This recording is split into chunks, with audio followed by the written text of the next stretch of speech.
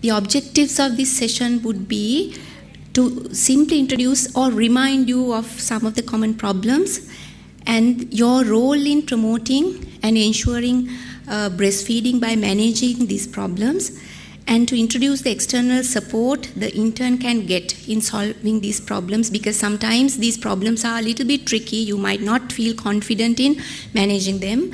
And to introduce the opportunities you have in promoting breastfeeding and please remember as dr hemachanda uh, reminded a few minutes ago we cannot work like to our, uh, depending on, on our personal preferences please remember we are medical professionals and we always go by evidence based medicine. I hope you know that. Whatever we prescribe, whatever we um, recommend, those are based on strong scientific evidence. So you have to remember that we are not business people, but we are professional people. So that is why we are very scientific people. We always go by scientific evidence. So the national policies and recommendations are based on strong scientific evidence. So the national policy on breastfeeding based on this strong scientific evidence are breastfeeding should be initiated within 1 hour of birth. There are lots and lots of evidence to say this is the best time. And also, baby should be exclusively breastfed for the first six months. And then you continue breastfeeding together with safe and appropriate complementary feeding until the baby completes two years or even beyond. So, based on strong evidence, we are recommending. Please remember, we are having lot of issues uh, from the medical professionals in promoting breastfeeding because they bypass all these national recommendations, this scientific evidence, and they they um, uh, prescribe or they recommend their personal preferences. Please remember, you can't do that as a medical practitioner in the Ministry of Health or even in Sri Lanka, right? So please. Uh, not only in breastfeeding or nutrition or other uh, other any other medical managements please follow the national protocols because those are those are developed looking at all the scientific evidence through a consultative process. Not just one or two individuals. People, the experts get together, debate it out, uh, say 10, 15 consultative meetings, and then come up with these policies, strategies. So please remember, because I'm again and again, again reminding this because we find a lot of issues uh, with our medical staff in promoting not only breastfeeding, complementary feeding, even other, other um, recommendations of the Ministry of Health. So just to briefly go through, why do we say first hour of birth? And please please go through don't listen to any any drug companies or milk food companies. It is an insult to the medical profession. Always uh, go through the cochrane review or who unicef technical websites and see whether these these are uh, backed by strong evidence. Because uh, the salespeople they will come behind you and say this research shows this we have this this have that. Please don't listen to it. Please don't insult yourselves because you are professional people look at the scientific evidence that are published in peer reviewed journals lancet bmj uh, and and also this uh, uh, the WHO websites, and Cochrane reviews and uh, that sort of technical documents. So, why do we say start within one hour of birth? Because early skin to skin contact with the mother supports breastfeeding and also the much needed colostrum, which is a rich source of immunoglobulins and anti-infective properties. It contains, and it prevents infection, prevents hypothermia, hypoglycemia, strengthen mother-child bonding. You will see such a lot of benefits for the baby, and also the first hour is considered the golden hour of learning. You know in childhood there are phases where the child is very much amenable to learning new new skills so, this is a period where it is extremely important for the baby to uh, latch on to the mother and uh, learn how to breastfeed. So, if you miss that opportunity, it will be a little bit difficult to train the baby. So, and also the mental development, all thousands and thousands of benefits. I'm not going to go into detail, just to remind you that we promote breastfeeding because we are talking about child nutrition based on these all these scientific evidence that gives us such a lot of benefits not only during the period of childhood but in later life also. And then why do we say exclusive breastfeeding for 6 months? What do you mean by exclusive breastfeeding? Only breast milk without even a drop of water except medicines vitamins and minerals given on prescription by a responsible doctor you responsibly uh, prescribe an antibiotic, maybe iron supplements for a preterm baby or a multivitamin based on some clinical uh, you know requirement and nothing else. And we we recommend this because there are a lot of advantages in breastfeeding. It it it protects the baby from um, a lot of infections there are a lot of evidence to say the IQ of breastfed babies are much higher than bottle fed babies. And they, the breastfeeding, the breast milk provides the total nutrient requirement. And also, there are evidence to say that there are a lot of uh, benefits in uh, protecting the baby in later life, in adult life, from non communicable diseases like type 2 diabetes, hypertension, uh, hypercholesterolemia. So, not only for the early childhood period, even as an adult, if you have been breastfed, you, you reap a lot of benefits. And also for the mother, you know the risk of breast cancer, gynecological cancer, osteoporosis is very much reduced if the mother has breastfed. So that is why we promote breastfeeding, looking at the advantages, short term as well as long term advantages for the, for the community. And also, we say start complementary feeding from six months because after rough, maybe say 95% of children will grow very well with breastfeeding for six months, but afterwards, you need additional nutrition. Uh, breastfeeding alone cannot provide the total nutrient requirement after six months. So, that is why we need to start complementary feeding. Then, uh, then you continue breastfeeding till two years and beyond, please remember breast milk is considered a live milk, a, a very dynamic milk.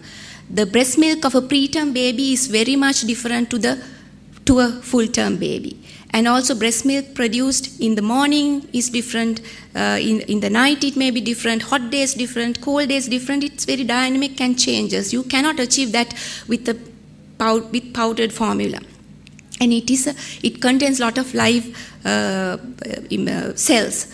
So it protects and also it contains a huge amount of DHA for the brain development. You don't have to give additionally. So that is why we strongly recommend you breastfeed till 2 years or beyond. You don't need any other milk products then. So this is just to show you with the increasing calorie requirement till 6 months uh, the total calorie requirement is provided by breast milk, but from six months onwards, there is a very small gap that you need to uh, fill with complementary foods. And that gap gradually increase with the increasing activity of the baby the increasing uh, nutrition uh, requirement. Then you in addition to breast milk you need to provide the uh, extra nutrition through complementary foods and even in the second year, just by giving the baby 550 ml of breast milk, you provide about 45% of the energy, 55% of good quality, good quality proteins, nearly 75% of vitamin A, vitamin C. So it's, it provides good, high quality nutrition even in the second year of life. And breastfeeding is the right of a mother as well as a baby. So it is our duty to support all mothers to exclusively breastfeed and also to continue. Again, I'm coming back to what I uh, mentioned in, at the very beginning. We always go by scientific evidence. As doctors, we, we should, we are bound to give advice, recommend, prescribe what is best for the community, best for the patient. So this is why we are saying we, we promote breast milk because it is best for the baby as well as the mother. And every mother has the ability to breastfeed. It's just that some mothers may need a little bit more support than support than others. So, we as medical professionals should be capable of providing that support. An illness or working mother is not a indication to start, com- start uh, infant formula. Even working mothers, what we promote is expressed breast milk. So that is so that the child will uh, reap the full benefits.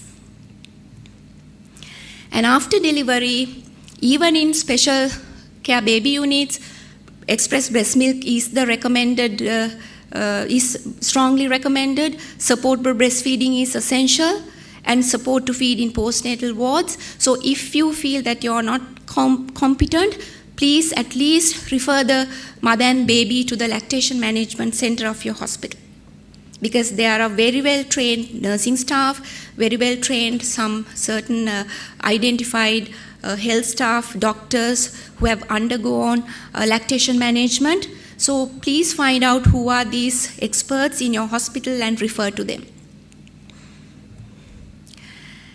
So please remember a newborn can be discharged from the hospital only when breastfeeding is established.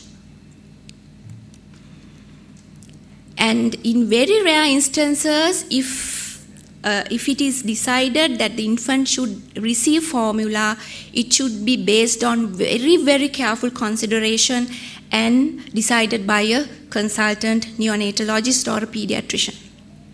Right? There should be a very strong medical indication to give infant formula because it carries a lot of risks. I'm not going to discuss that, but please go through a very small summaries there in your booklet, page 63 onwards and there you go, please go to WHO website eLearner and also the Family Health Bureau website. We have the guidelines, all the technical documents. As Dr. Nilmini said, people respect us, how we behave, how we communicate, and also our technical knowledge. If, if we are not confident, if we have very poor knowledge on, on our particular area, people will not respect us. So we need to have we need to be very up to date in our technical knowledge, our skills, and how we deal with the patient, the relationships. And please ensure before before discharge that the positioning and attachment of the babies, uh, you are very very happy and confident, and then uh, you need to inquire about any, any feeding difficulties, how the mother feel that the child is uh, being breastfed on demand, and then uh, the, the mother's knowledge, the support that she will get from the family, and also how to how to assess that the baby is getting enough enough breastfeeds, like passing urine six to eight times and then weight gain. And also, again, if there are even slightest doubt and you are not very happy, then please refer her to the lactation management center or to the field midwife. And uh, lactation management centers are a very important. Uh, play should uh, get a very important place in the curative institutions where mothers along with the babies with feeding problems are managed uh, given you know uh, to uh, given personalized care for skill development in breastfeeding but of course, acutely ill neonates should not be admitted to uh, lactation management centers, but others only if there are only breastfeeding issues, you can um, you should refer them to the lactation management center. And a lactation management center should be uh, uh, should function as part of the neonatal intensive care unit or special care baby unit or mother baby center. And the responsible person should be the consultant neonatologist or a pediatrician. And please tell the uh, tell your patients or uh, not patients actually you can't consider most of our uh, postnatal mothers as patients the clients. Give the information. If you have any issues please uh, come to the lactation management center for advice Right. And also in the field level, we have a very strong supportive network for breastfeeding. Our public health midwives, the MOHs, they are constantly trained on infant and young child feeding uh, for the counseling, for, for, um, uh, uh, for counseling on breastfeeding as well as complementary feeding. And also, you need to uh, build confidence in the mother, respect the breastfeeding mother, and you need to create a very conducive environment in, in the uh, hospital, the ward setting, the labor rooms, uh, the operating theater, wherever for breastfeeding. And it is a right uh, of the baby as well as the mother, again, based, based on strong scientific evidence. I keep on telling this because sometimes you forget. You forget, you listen to the milk food companies, you let them come and access your institution, come and talk to you, or the drug companies please, as professionals, build up your technical capacities and uh, please ensure that your professionalism is ensured. Right. Then um, I will I will quickly go through um, because when you talk about uh, child nutrition, the basic the main main thing is breastfeeding and then comes after that complementary feeding.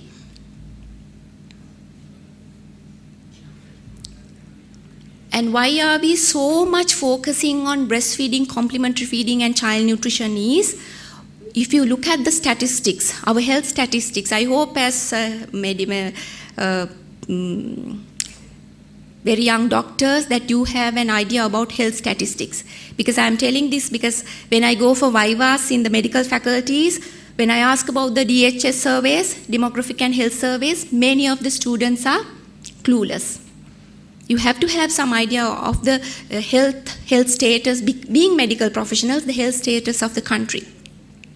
And if you look at the data, you will see that we are progressing very fast achieving a lot in morbidity and mortality statistics. Infant mortality is low, maternal mortality we have achieved a lot. We are very we, we have come down to very low levels. We have one of the best immunization programs, so you don't see any more uh, whooping cough or diphtherias. Um, you know, we have eradicated polio. But compared to those, child nutrition is an area where we are stagnating very much, very, very slow progress, right? So uh, the nutritional problems in children that we are, we are struggling with the underweight, wasting, stunting. And I hope that you have a clear idea about what underweight means, wasting means, stunting means. Do you all have a clear idea what these, these um, conditions mean? Huh? In a clinical point of view, in a management point of view, do you manage a wasted child the same way as a stunted child? Or is there a difference? Hmm?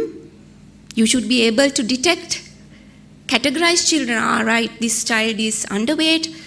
We go by the indicator weight for age less than minus 2 SD. And what does underweight mean? Acute malnutrition or chronic malnutrition or what?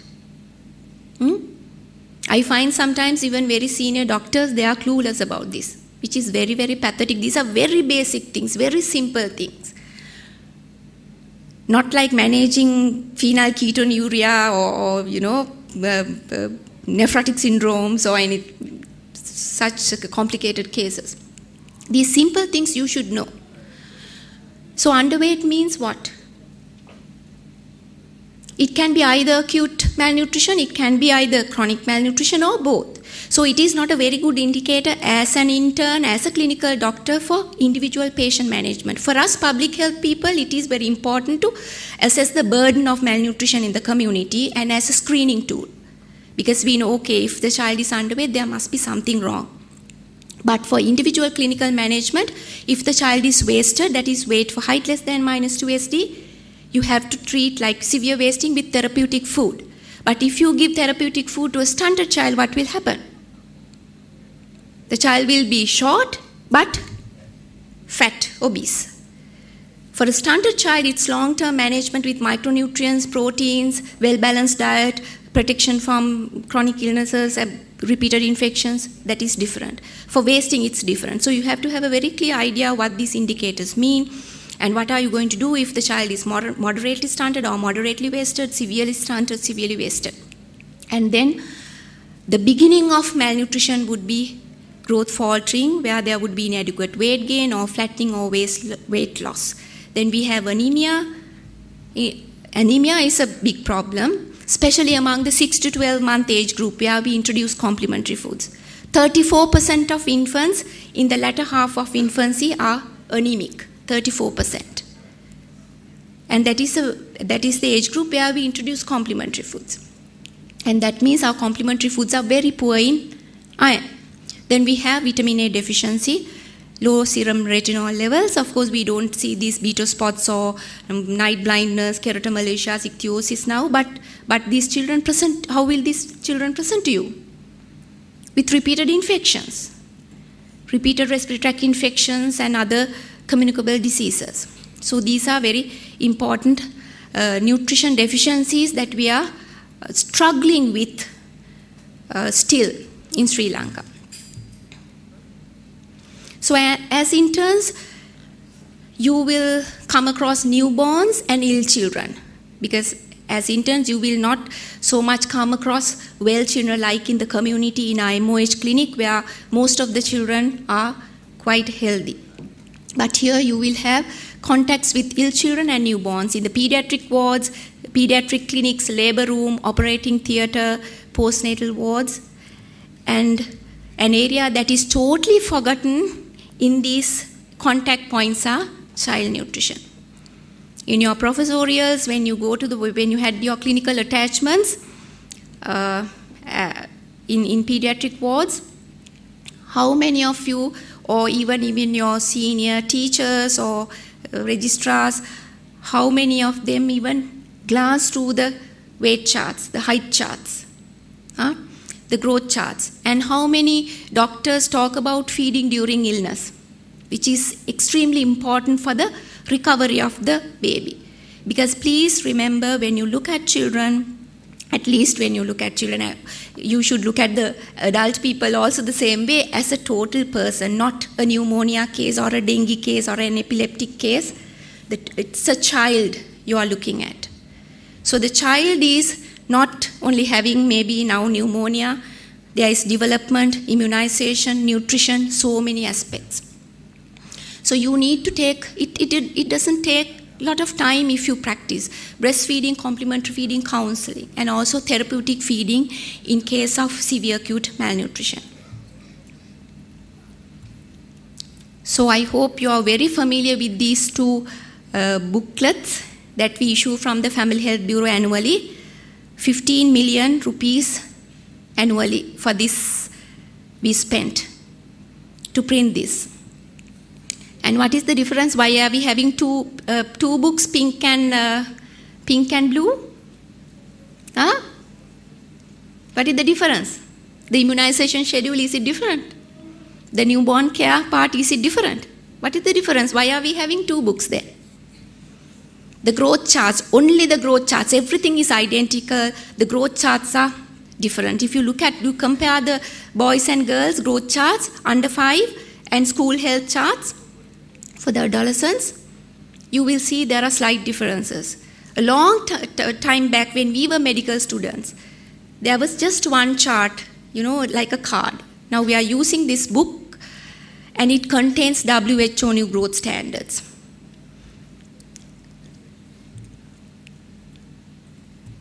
and you should be very familiar not only not only the doctors who will be working in pediatric units and uh, uh, obstetric units, but any doctor, because I think 19, maybe 98% of you will be doing general practice after hours, most, most of you. Then you will come across children. So you should have, as a practicing doctor in Sri Lanka, you should have not, not maybe these tiny, tiny details of management, but these very simple things, they should be in your fingertips. So I hope you have a very clear idea about these graphs, uh, the categories, what do you mean by normal growth? What is moderate underweight, severe underweight? Then we have this underweight, uh, the first two years in one page and the other three years in the second page. And what do you mean by normal growth? I am specifically showing you these graphs because a lot of doctors, they are, it is very sad and quite surprising for me that such simple things are um, uh, they are not competent. It is, I think, where I'm, I'm really sorry to say, not many doctors can identify growth faltering. What do you mean by normal growth? Now, this child's birth weight is about 3.9, somewhere around the plus 1 SD line. And the child continues to grow along that plus 1 SD line. Actually, for the next five years, you can you can decide okay this child should be growing around the 1 plus 8 sd line and if there is any deviation you have to look, see why, why the what is the issue? Here again the child's birth weight is just below the median like 3.4 and the child uh, between the median and the minus 1 sd line. So the child will grow along these two reference lines throughout the first 5 years. And if there are any deviations from the expected growth trajectory, then of course you have to see, you have you you know that is an indication. Okay, there is something wrong. So then you have to find out why. So this is the initial stage of growth faltering, where a child whose uh, weight is you expect to go along the median line, but there is a very slight deviation downwards. Then of course flattening. This type of scenario you cannot have in a very in, in this age group where the, there is extremely rapid growth. So that is growth faltering. The child is in the green zone. Even some pediatricians sometimes say, okay, the child is in the green zone, so it doesn't matter if there is a slow, you know, slowing of the growth. But ultimately, in a year or two, you will see that has affected the height of the baby and the child's height has come down. Of course, most of the time with ill babies, this is what you will see a drop in weight, especially when the child is admitted to a pediatric ward with acute illness. Most of the time, there would be a drop in weight. This should not happen if we manage the patient carefully and if we have the competency and the knowledge to uh, counsel them on feeding during illness. Then again, in the child health development record, we are regularly monitoring the length or height. Length up to two years and height thereafter. We have given specific uh, age groups where the length should be marked. So, as an intern, please take one it doesn't it, it, it only takes about five seconds to glance through these three charts if you take the under five child to see whether there are any nutrition issues as well then again, we have the weight for height charts. This is extremely important uh, in, in the ward setting where you, uh, you decide on whether the child is given therapeutic food or not. Our MOHs, they will decide, they will detect these children who are having severe acute malnutrition, what we call uh, SAM, and they will refer to the pediatric units from the field. For therapeutic food, at the moment, what we are giving is BP 100 to the pediatric ward. So you, the pediatric staff should be competent enough to manage these severely with uh, children with SAM with BP 100 or the therapeutic food. So this is how we detect weight for height less than minus 3 SD in the red zone. Then as I said in the CHDR, it is from birth to 18 years, not only for the first five years. So we have height for age charts for girls, and then BMI charts, BMI for age. From 5 to 19 years, BMI is calculated for age. And then please use the CHDR, go through it. We have referrals for immunization. The, our MOHs, the doctors, the preventive health doctors will refer to the pediatrician or the consultants using these referral pages. And we have vitamin A megadose supplementation program in the community deworming program from 18 months onwards. You should know these things because sometimes what we find is doctors working in the curative sector who are clueless about our preventive health programs. When, they, when the parents bring the children to the OPD or to the general practice, they just, ah, oh, you shouldn't be giving mebendazole to children. You shouldn't be giving vitamin A mega dose. As I said, these are very carefully thought out interventions. You should not, unless there are specific indications. Uh, medical indications, you should not not do um, without having any knowledge about this. You should not do such detrimental remarks. Then we have another page in the CHDR for referrals and back referrals. For, for nutrition, mostly if the child is severely malnourished, severe stunting, severe underweight, severe um, acute malnutrition, our uh, public health staff, the MOHs, they will refer to the pediatrician using this form. So it is important that the pediatrician refers back the child to the community giving the basic information like how it, the child should be managed. So that link should be there if we, we are to improve not only the nutrition of children but the total health of, of uh, under 5 children. Then we have the referral page for hospital admission, severe illness. The CHDR is a comprehensive health record of the child up to 18 years. So these notations, these uh, documentation in that health record is extremely important.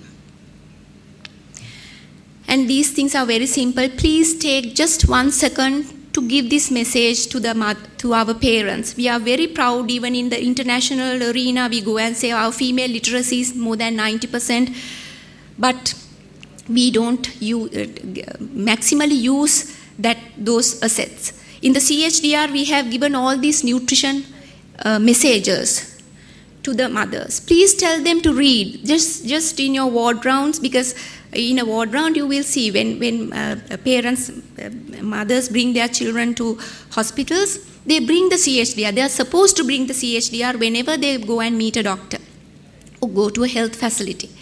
So you just have to tell them, okay, there are health messages. Are you uh, following these health messages on breastfeeding, complementary feeding, growth monitoring? And also in the CHDR, we have these yellow colored pages giving a wealth of information on newborn care, breastfeeding, complementary feeding, immunization, psychosocial development. For the parents and the caregivers to read uh, and, and improve their child care practices. But even our doctors sometimes don't know these information are there in the CHDR. And they don't know these simple messages also most unfortunately. So so I will not go through the key national recommendations, but just remind you the policies and the technical recommendations you are, uh, you're, you are supposed to uh, um, go, go through them, know them, and abide by all those policies and technical guidance from the Ministry of Health. So, exclusive breastfeeding for the first six months, even for working mothers, you um, give them support to give express breast milk. Then you start complementary foods immediately after completion of six months, but you continue for two years or beyond. But from one year onwards, the staple, the main diet, the nutrition for the baby is through the three main meals. Not milk, not breast milk, not formula, not, not full cream milk, no one plus nothing. The three breakfast, lunch, and dinner, and two snacks, and breast milk to, uh, if you look at the food pyramid, you will see there's a small milk component and that to be provided by breast milk. And then please remember, this is extremely important. With malnutrition, what we see is during breastfeeding, exclusive breastfeeding, children are growing well. But with starting of complementary feeding, you see growth faltering, especially because we tend to introduce this watery kanda. Please don't use that word kanda in your clinical practice it is the battalape. I am sorry, I don't know the Tamil word for that, but in Sinhala we say give the battalape. So from the very first mouthful of complementary foods, this is this picture is in the CHDR. Please remember, tell your um, the caregivers to start with a thick rice paste and later on to add oil, thick coconut milk, butter, margarine to uh, increase the energy density. Because what research shows us research on complementary foods and nutrition in Sri Lanka is our complementary foods are very poor in energy and nutrient density. That is a very big issue that we are struggling with. And the, another message that you need to promote in the, in, in, among the caregivers of young children, introduction of iron-rich food, animal source food as early as possible. That is within about one week of introduction of complementary foods because we are having a big problem in combating this anemia in the second half of the first year, 6 to 12 months. And you know, I hope you know that 80% of brain development occurs in the first three years. And if the child becomes anemic in the first few years, the child will permanently lose about 10 to 15 IQ points. So that is why we need to ensure that children's complementary foods are rich in iron, um, this type of high quality. Why do we say animal proteins, animal uh, source foods? Because it contains heme iron as compared to non-heme iron in green leaves and pulses and dals, which are uh, only 5% of iron is absorbed there. But animal source foods like sprats, fish or liver, their, their bioavailability is very high. And please remember, eggs is not a uh, food that is rich in iron. But it is a very nutritious food, uh, vitamin A, lot of uh, high quality proteins, but not iron. But please remember we, we need to promote eggs at an early age. Then pulses, a variety of pulses in Sri Lanka we have and we need to tell the parents to give the child a variety of food. There are a lot of uh, information in the infant and young child feeding guideline you can access in the Family Health Bureau website and also some more detail in your uh, uh, booklet. Then we, I, I said, they, I said, still we are having an issue with vitamin A. 30% of our children are vitamin A deficient. 30%. So we need, still we need to highlight the importance of uh, dark green leaves and orange and yellow colored fruits and vegetables in, in, in uh, the daily diet. And also we have a vitamin A megadose supplementation program in the community where babies are given 100,000 international units every six months starting from, the, from six months of age up to five years. Then, of course, there are specific criteria like recommendations according to the age, the number of meals, the number of main meals and snacks. From 7 to 8 months, 2 to 3 main meals and 1 or 2 snacks. Thereafter, just like us adults, 3 main meals and 2 snacks. No intermittent feeding. Please remember that. Because even in, a, in our pediatric clinics or child welfare clinics, we see these children, small children eating various junk food like bites and uh, sweets and chocolates and toffees till, till the time comes for the baby to be seen by the pediatrician or the MOH or the doctor. So just five meals after nine months, three main meals and two snacks. And also the quantities, there are specific quantities that we have given for each age group. You need to be uh, knowledgeable about this uh, for counseling of parents and also consistency. You have to train the baby um, for, a, for a healthy dietary habit. Now we are talking very much, even in the morning, we were in a um, award ceremony and a lot of our higher officials were talking about non-communicable diseases. Prevention of non-communicable diseases, establishment of clinics, all the curative things. But a lot of people forget that the primordial and primary prevention of non-communicable diseases are with the maternal and child health program.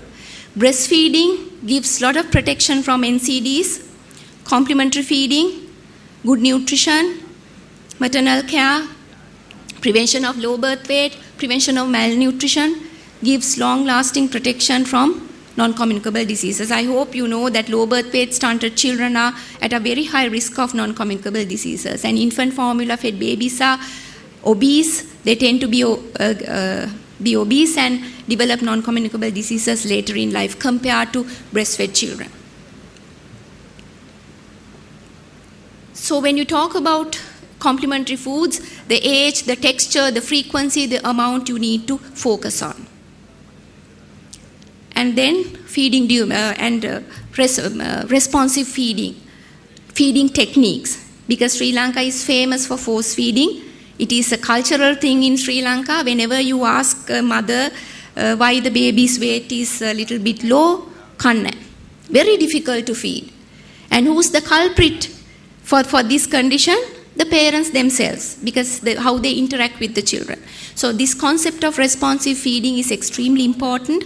You, you need to train the baby from the first day you introduce the bhat talape or the rice paste as the first complementary food how to eat properly and you don't add sugar you don't add salt to the complementary food in the first year. That again is very much protective against non-communicable diseases in later life. And this is something that is extremely important something that you should focus on even not on other areas uh, feeding during illness. Please take just one minute to talk to the parents that it is extremely important that you give children highly nutritious food during illness for quick recovery, prevent them from going into complications. And the previous recommendations, of course, will be difficult because the child has loss of loss of appetite, uh, uh, very ill. So small, frequent feeds, sometimes 10 to 15 times per day. But at the end of the day, the child should have taken a little bit more than the usual diet for the child to recover, to prevent the child becoming growth faltering. So there are a lot of myths still. And if, if, the medical professionals, the doctors do not address, even if even sometimes even the doctors say better not give eggs not to give fried things you know not to give this not not to give that during this illness. Because of that there are a lot of issues growth faltering during ill health. So more food more nutritious food if the child wants fried uh, an omelette or a fried piece of fried chicken give the, give that to the child. That is very nutritious and then add oil, thick coconut milk as usual to the preparation. So even if the child eats a little quantity, it is very rich in nutrients and energy. And even after recovery, uh, to um, expedite the recovery, prevent going into uh, complications, uh, to stop the child becoming malnourished, even during recovery, it is extremely important to focus on the nutrition status. And uh, uh, interns who will be working in pediatric wards should have a clear idea about management of severe acute malnutrition with BP 100.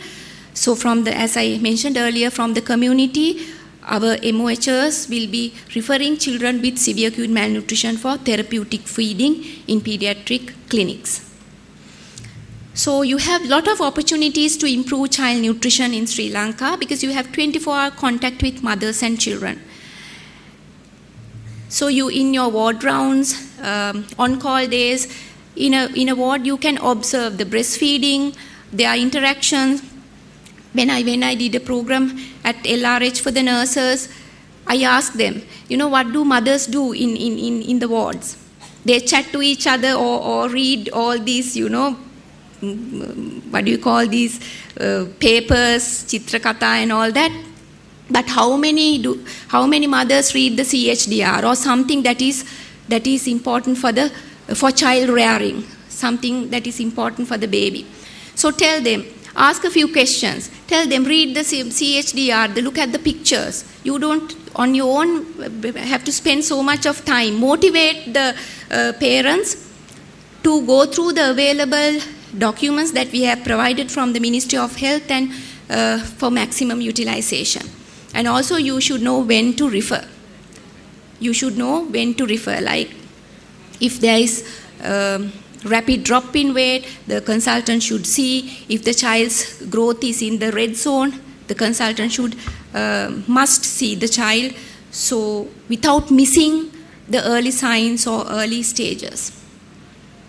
So as I said again, we are repeatedly saying this because we see a lot of difficulties with our doctors and health staff in managing these programs. They have a national nutrition policy, cabinet approved maternal and child health policy, 2012 cabinet approved, and we have the Sri Lanka Code for Promotion, Protection and Support for Breastfeeding and Marketing of Designated Products, which says that we cannot have any contact with milk food companies. That is the easiest way for you to remember. No contact at all uh, with milk food companies. What we promote is breast milk. And as I said, there are a lot of technical guidelines and documents in the Family Health Bureau website. Please go through. As I said, as medical professionals, you should be technically competent. That is extremely important. So please take some time to go through the programs and the technical guidelines that are happening in Sri Lanka. Right, thank you.